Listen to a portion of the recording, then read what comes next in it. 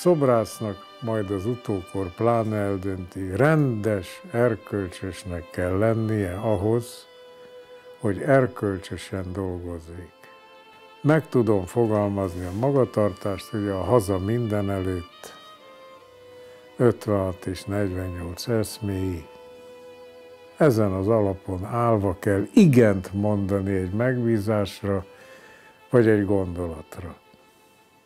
Ha árt az országnak, nem szabad csinálni. Rögtön elmehetünk volna, akkor nem sevesülök meg. Hogy miért? Ez az 56 ereje, amikor ott akarsz lenni, hát ha kell lesz, ez még az elején volt 26-án reggel, tehát hát ha kell lesz, ha akkor valaki jött volna, hogy itt van a fegyver, ezeket kergessük el a téről, akkor mentünk volna nyilván. Senki nem mondta, hogy nem megyek. És többes szám, első számban beszéltünk, akkor mi elmentünk, megnéztük, itt voltunk, ez történt velünk, rendkívül nagy erő a hazaszeretet egy ilyen 56-ban a szabadság jelenléte erősebb, mint a halálfélelem. Sokszor találkoztunk. Rokon szenvesek voltunk egymásnak, szívesen voltunk együtt. De az, hogy barát túl erős szó, annál sokkal hamarabb halt meg, mert én akkor ismerkedtem meg vele, amikor ő már Latinovics volt. Tehát 40 éves. Ő június 4-én délután fél ötkor lett öngyilkos. Hát ez a Trianon kihirdetésének a napi és havi dátuma, fordulója. Nem véletlen. Én itt versről versre lépegettem nyilván, lehet, hogy bőbeszédű, nem tudom. Teljesen szabad voltam. Különös, 77-ben szabadnak lenni. Szabadosság is lett belőle, mert a teljes szabadságot nyilván nem értettem, nem volt benne gyakorlatom. Ezért lett Latinovics mesztelen. Most, ahogy nézem, nincs értelme, hogy mesztelen. Ha már mesztelen, akkor Adinak kellene mesztelennek lennie. A szobor pedig arról szól, amit elfogadtak, hogy a szabadság cserben hagyta a szabadságharcosokat. És írtam, hogy remélem, hogy a szabadság lepkéje közhely képes. Alatta van, hiszem 19 figura annyi fért el, mind portré, azért, hogy elhiggyék, hogy ez valódi.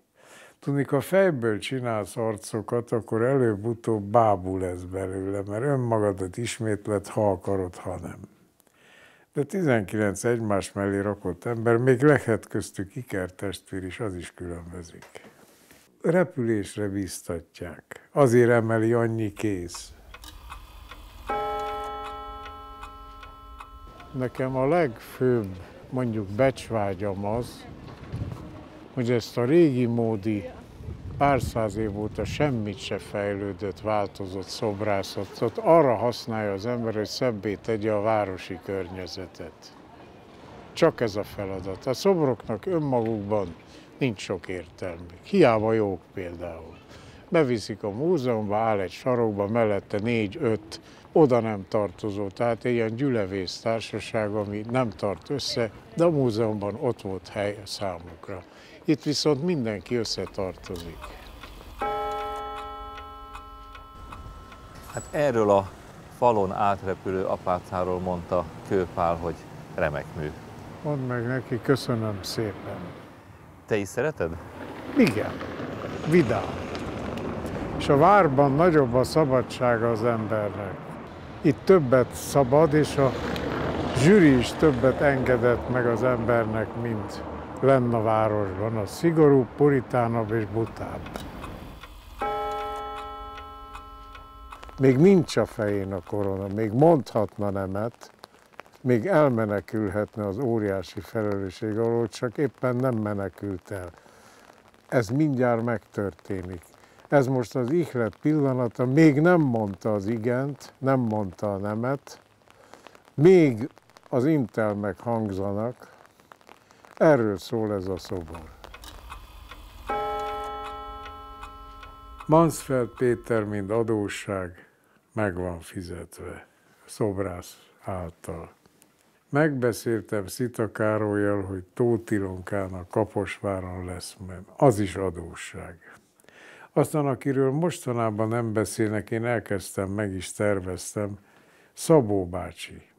Hát azért az se volt akárki. És ráadásul szép arcú ember. És aztán növekszik az adósság. Makovec Imre is adósság. És hány adóssága van még annak, aki emlékművekben gondolkodik, netán aki emlékműveket rendel? Zuhantában egy másodpercig volt szabad, azután így nem lehet összebirincselt kézzel kiparírozni a zuhanást. Úgyhogy nyílt törés. Abban a pillanatban a fájdalom rabja lett. Hát ez a pillanat az... És a címét valóban te faragtad rá? Én, én a... igen. Azt én az avatáskor megígértem, nem engedélyezték, egy Gerő nevű áltörténész.